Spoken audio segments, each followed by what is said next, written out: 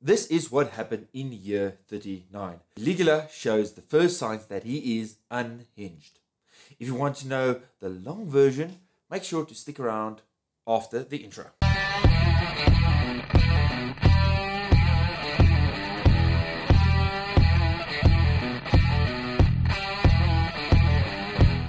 Hi there, my name is Peter Groenewald. This is No Year Zero, where we try and cover history year by year as long as possible. In year 39, we still have our three main powers on Earth Rome in Europe, Parthia in the west of Asia, and the Eastern Han Dynasty in the east of Asia.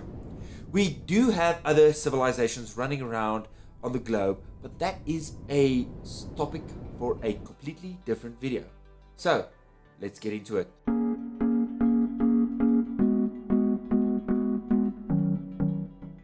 Here we will cover the people who were born of note in year 39.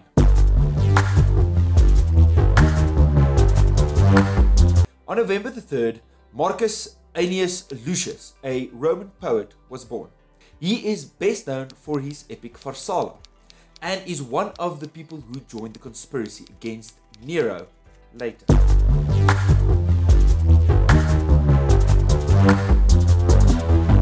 On December the 30th, Titus Flavius, a future Roman emperor, is born. His military exploits before he took the position of the first citizen is very well known, especially in the First Jewish Roman War. He became the emperor in year 79 CE.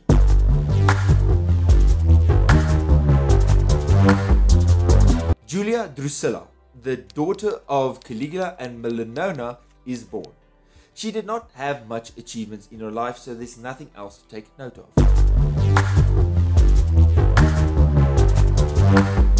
Claudia Octavia is also born. She is the daughter of future Emperor Claudius and the first wife of the future Emperor Nero.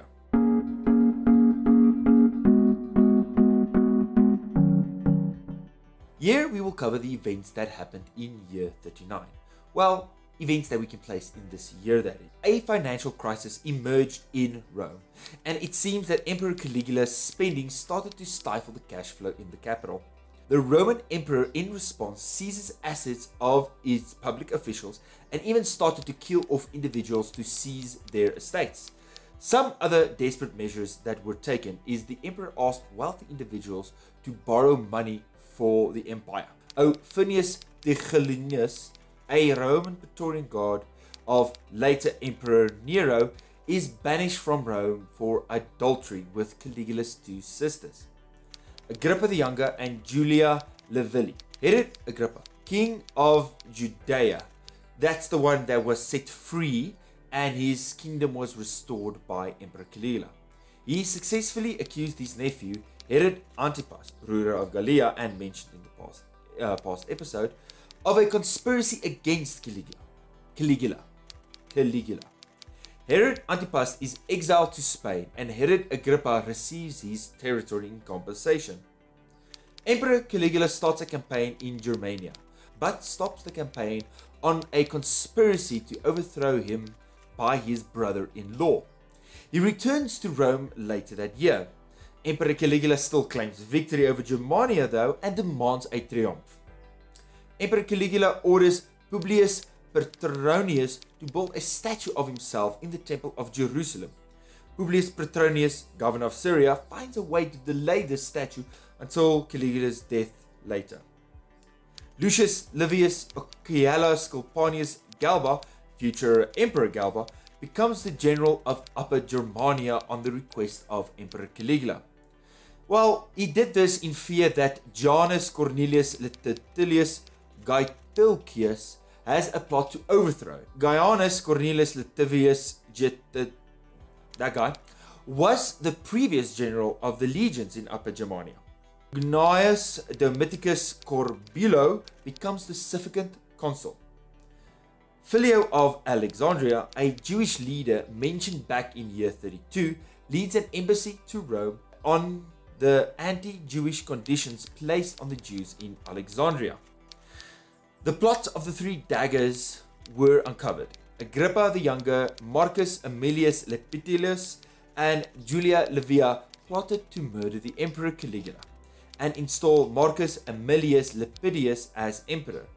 After this, there were even accusations that the three were even lovers.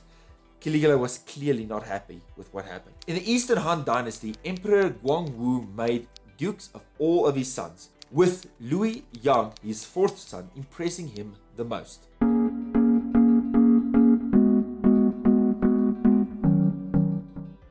Here we will look at the people who passed away in year 39, with a few previously mentioned.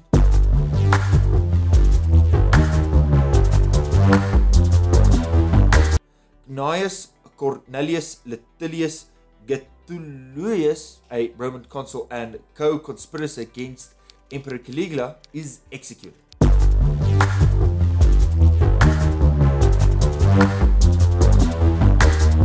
Marcus Aemilius Lepidus, a Roman politician, once named heir to Caligula, now charged for conspiracy and adultery behavior with both of Emperor Caligula's sisters.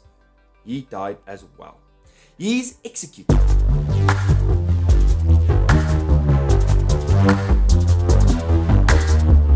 Seneca the Elder, a Roman rhetorician and writer, died.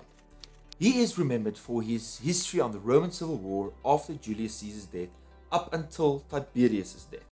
So, that is year 39. If we forgot anyone, any births or any events, please remind us in the comments below. So please subscribe. We are going to try and cover every year of this one as best as we can.